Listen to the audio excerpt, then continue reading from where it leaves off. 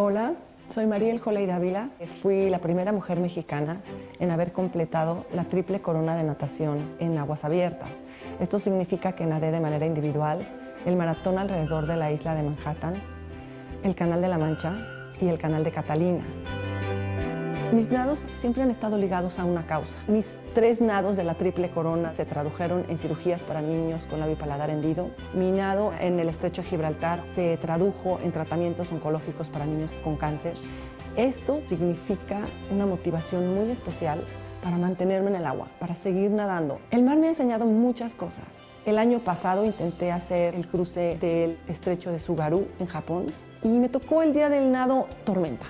Me impactó muchísimo darme cuenta que mientras yo iba nadando, el oleaje complicado, el viento a todo lo que da, unas nubes formándose, así que venía la tormenta. Y cuando sumergía mi cabeza, el fondo del mar estaba en paz.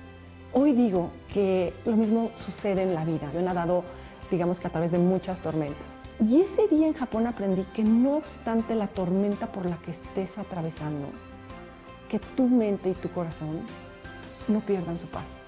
Y entonces seguir dando brazadas, una a la vez, hasta llegar del otro lado, hasta llegar a la otra orilla y salir del agua caminando.